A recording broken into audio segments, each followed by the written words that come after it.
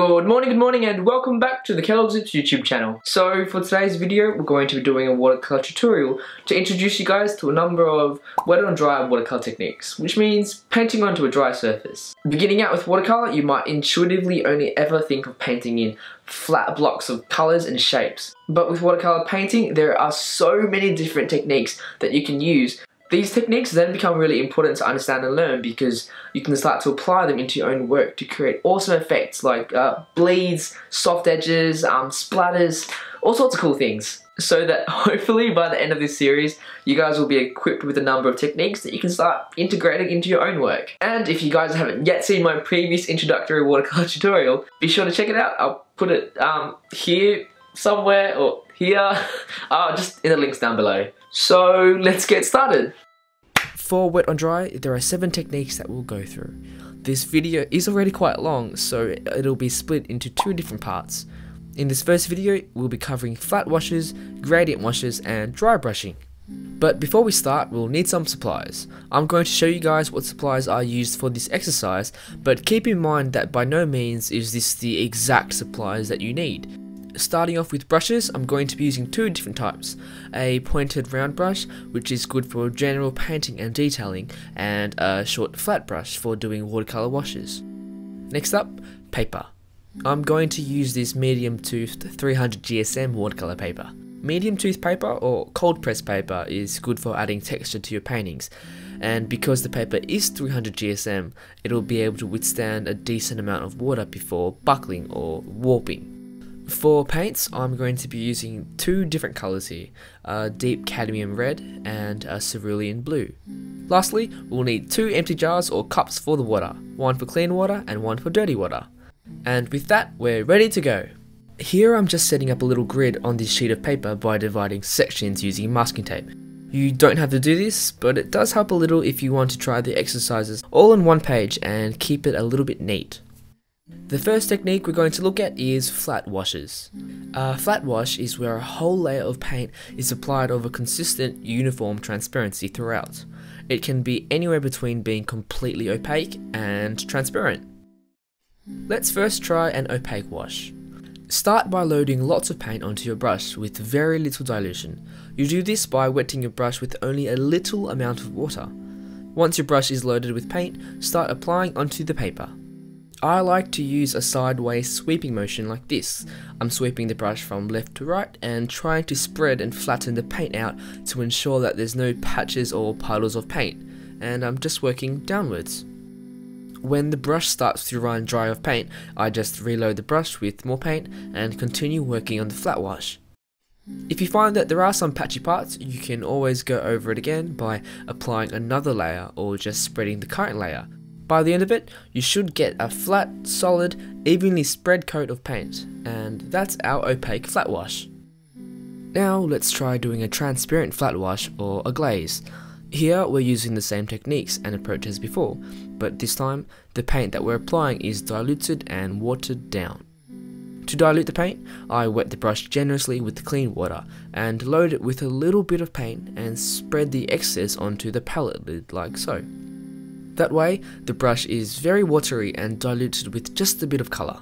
I can then go ahead and apply the paint using strokes, just like we did with the opaque flat wash. This is useful if you only want to add a slight tinge or an additional coat of colour over a surface, but keep in mind that it is transparent, so colours and layers and lines will always show beneath.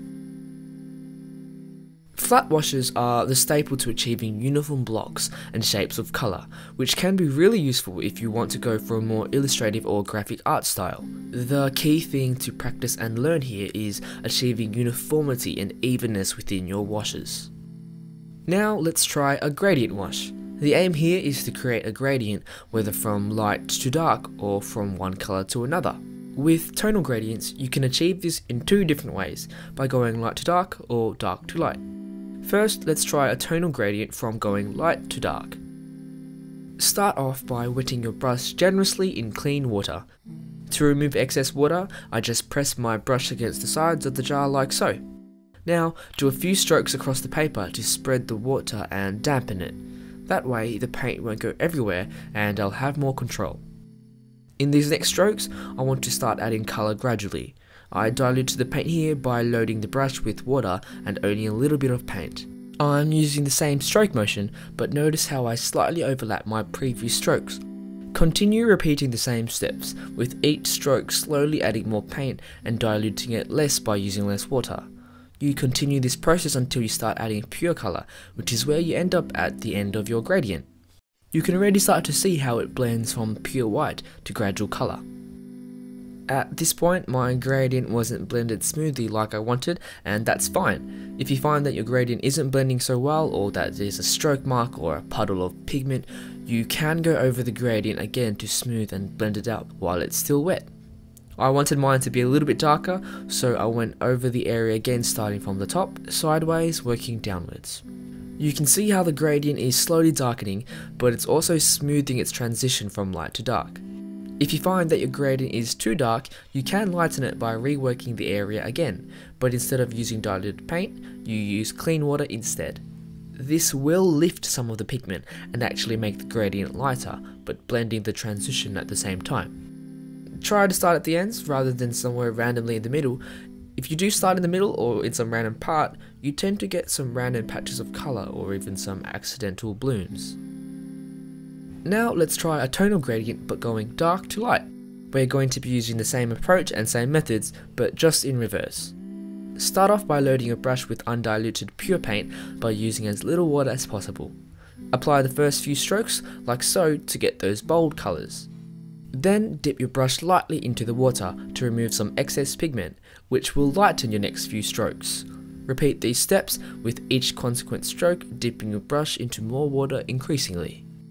Each time you add more water to the brush by dipping it into water, you are diluting the paint, which is how we get that gradual blend from pure paint to pure water.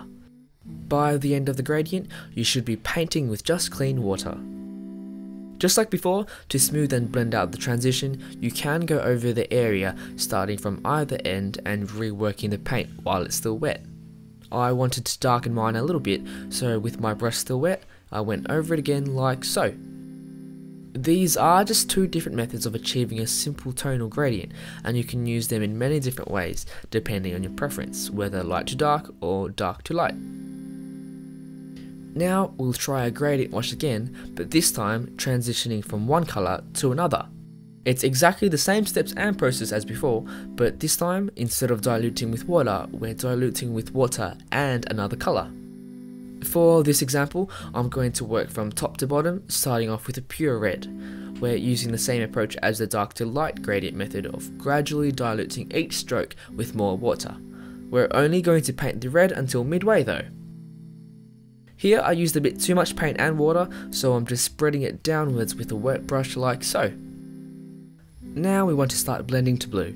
We're going to use the same light to dark gradient method by starting with a very watered down diluted blue wash and working our way to a pure blue by slowly adding paint with each stroke.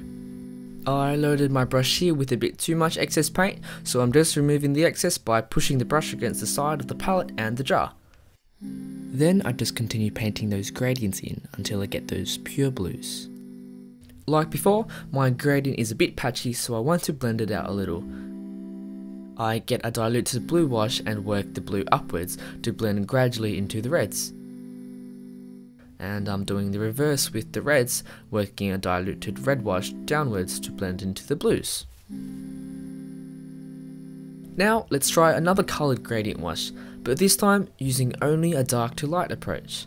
Just like before, we're starting with a pure red and gradually diluting each stroke to create the gradient from dark to light, only until midway. Try to keep this mid area quite wet as we need to rework it soon, so you do have to be quite quick. We're then going to switch to the opposite end and do the same thing with the blue, going dark to light.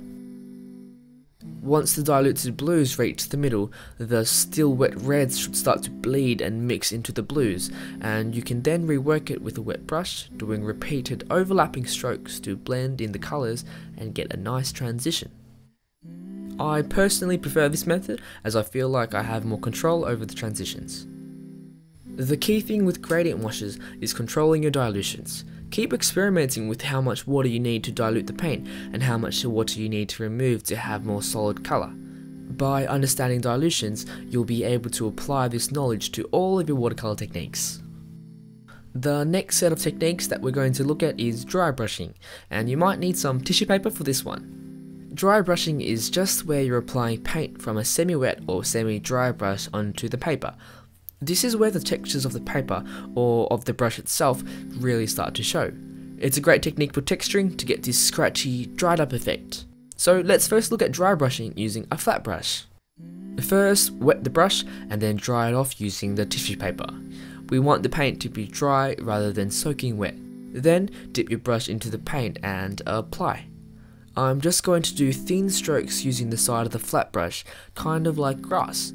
You'll instantly notice that the paint has a unique scratchy texture, and it's because the brush is dried up. This texture becomes more evident as the paint starts to dry up the more you use it. Now let's try dry brushing with the whole brush.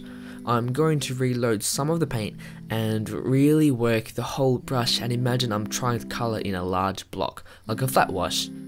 You'll notice I can't really get a solid block of flat colour and it's because of the texture of the paper and the dryness of the brush. This can be used for some cool effects like maybe rust or even a gravel or dirt kind of effect if you're painting something like that. Let's try dry brushing with straight strokes this time. I'm going to use the fat side of the flat brush and only dip in the very tips of the brush in paint and applying the strokes like so. This is where the individual hairs of the brush really come through and you get this kind of dried up scratching line effect. I can even grab a ruler as a guide and paint the same stroke in to get these straighter lines. You might even want to try adding a bit more paint or wetness to the brush, but not too much, and try the same thing you'll notice that the lines get even thicker and streakier. Next, let's look at dry brushing, but with a round brush. We're going to use the same approach of wetting and drying the brush on tissue paper and then loading the brush with paint and apply using an angled brush technique like so. We're just kind of dabbing and dragging the brush across the page like this. Already you can see the effect of it and it's these splotches of solid colour you can even try a different application technique and repeatedly tap the brush on its side like this. The scratchy texture is coming through from the hairs of the brush again, kind of like a rock texture. You can even stipple with the brush like this for another funky little effect. The last dry brush technique we're going to look at is with this fan brush that I customized. Fan brushes have a unique little shape and I trimmed this old one so it was more like a rake. So let's see what we can do with this bad puppy. Same approach, wet brush, dry on tissue, dip in paint, apply. I'm going to do vertical streaks like I did with the flat brush and you can see all the individual hairs creating these awesome streaky scratches. I even went ahead and tried a stippling effect with the tip of the brush and even some curved streaks like this. Dry brushing is great for adding unique textures to your paintings, especially for landscapes and more nature based paintings. The great thing about dry brushing is that there's no real one right way to do it. Each brush has its own unique properties that can be used for great dry brushing techniques, effects and textures. You just have to experiment. Try come up with your own special dry brush techniques or maybe even customize your own brush. So we covered only 3 of the wet on dry techniques in this part 1 video, so keep an eye out for the next part of the tutorial as we'll be covering 4 other wet and dry techniques, pulling, feathering, splattering and drips. I'm also going to be doing more future tutorials on other techniques like wet on wet, layering, masking and even texturing. And that's all for today. If you guys enjoyed this tutorial, be sure to subscribe and keep an eye out for more future videos like this. Thanks for watching guys, I'll see you soon.